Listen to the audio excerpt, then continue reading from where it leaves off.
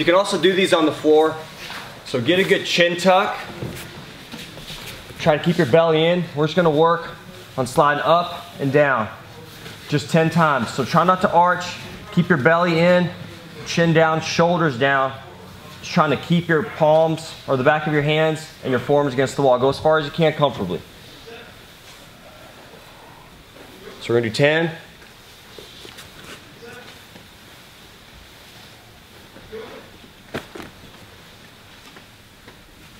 And so you do this, what's, Yes. what's more important, this, um, I think my lats are probably a big, big problem, so that Yeah. as soon as I get here and I'm trying to do this, my, my back's like.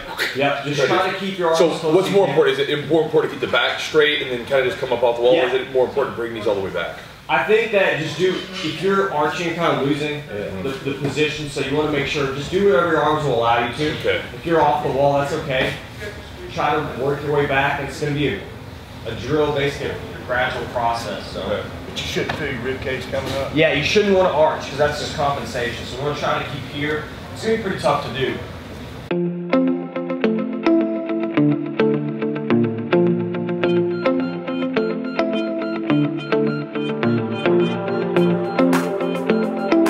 Thank